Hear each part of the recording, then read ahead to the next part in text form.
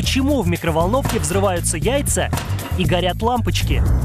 Надо выключать. Мы расширим границы ваших знаний, проникнем в засекреченные лаборатории, станем свидетелями грандиозных научных открытий. Косметическая продукция, если, э, так сказать, ну что ли, честно признаться, это же химическая атака через кожу на организм человека. Мы познакомим вас с лучшими учеными, инженерами и изобретателями, которые каждый день меняют наш мир. Парадокс э, заключается в том, что чем лучше лечим, тем больше появляется болезнь. Раскопаем самое скрытое, объясним самое невероятное. Звук определенной частоты может управлять пламенем.